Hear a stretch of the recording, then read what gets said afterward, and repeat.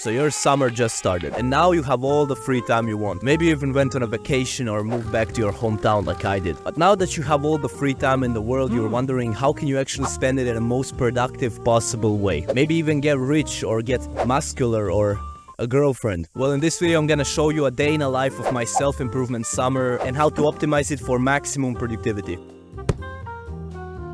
So as I said, I moved to my hometown and I don't have a good gym here. So what I decided to do instead is get some of these. These are the gym rings. Some of you might have seen it from Hamza videos. Some of you might use it. And I'll work out on those instead of the gym as well in the same woods where I record videos. So if you are on like a hometown or on a vacation and you don't have access to a gym, or even if you do have access to a gym but you want to try something new, you can get them from not too much money. You can get the experience of working out in nature, in the woods, which is really nice, trust me. It's very difficult, so you get a new challenge. As you can see, when I first got on them, I was shaking like a bunny. Is that what they say? I'm not sure. I was shaking like a rabbit. And they say the gains are pretty good, but we'll get back to that at the end of the summer and I'll actually tell you how the gains were. And I'm not gonna talk too much about the rings in this video because there's gonna be a separate video for the rings. And besides the gym rings, I'm going to play some football with the locals here. I'm gonna swim. Next up is the diet. Before the summer, I was bulking, so I was eating a lot of food and now it's pretty difficult to bulk over here. I don't have my own food, I don't cook my own food, and plus I'm moving a lot, so I'm burning a lot of calories. So I decided since it is practical, I'm going to go on a cut during the summer. I could use losing some fat, to be honest. Bulking was pretty brutal. And yeah, as I said, cutting is going to be ridiculously easy because I'm going to move a lot all of the time. And you should too if the summer has started. When I'm done with my workout and I eat in, then it's time for work.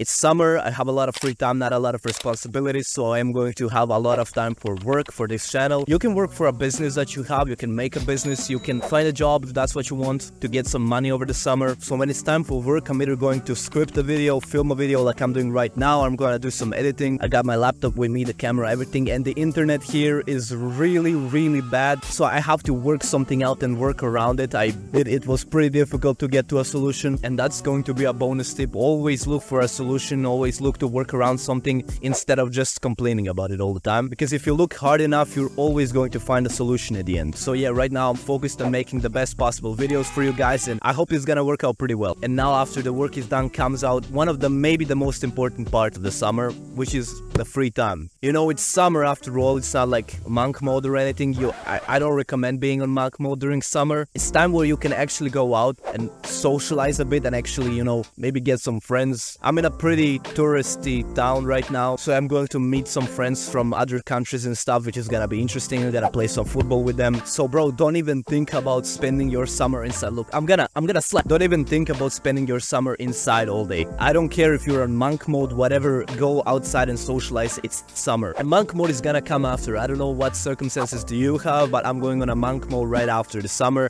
and then I'm gonna like blow up this channel if I don't do it earlier. You guys can check out my channel if you want, I'm trying to blow this up. Then when I come back from outside, wherever I was, I'm going to read some Bible as I usually do, and I'm going to go to sleep, whenever that is. Honestly, I believe I'm going to sacrifice some sleep during the summer, which you know might not be the best thing, you know, health is important, but I think that summer is a really good time to maybe not go out and do degenerate stuff, maybe don't go out drinking too much and stuff, but you know, keep it healthy, but go out and, you know, sacrifice a little bit of sleep. And you know what, I'm coming home from outside like dead tired because I spend my days like I wake up and I go work out, then I record some videos, then I go swimming, then I go on a boat, then I go to play some football. You know, my days are full of activities and that's how yours should be during the summer. And then I come home and I'm dead exhausted. I just lay in the bed and I fall asleep, which I usually have problems falling asleep. Now I don't. So maybe we're meant to spend our days, you know, running because our ancestors probably didn't spend days sitting on a couch scrolling on social media. They spend the days outside. So maybe today's generation has so much problems falling asleep because we're not exhausting ourselves enough during the day. But that's just a side theory that I have. Maybe I even make a video about it, who knows. I lay down, I fall asleep, I restart the entire thing. With a day like this, it's pretty hard to even fall into scrolling on social media, playing video games, watching movies, and instant gratifications and all that stuff. And you're gonna have fun. You're gonna have a lot of fun. Now, if you enjoyed watching this video and you want to go through this self-improvement summer journey alongside with me, you can scroll down and click subscribe. I don't want to beg for it, but it helps me a lot and it gives you some interesting self-improvement videos to watch in your free time. So it's a win-win for both of us. If you want, click it. If you don't want, I guess I hope you enjoyed the video. So yeah, see ya.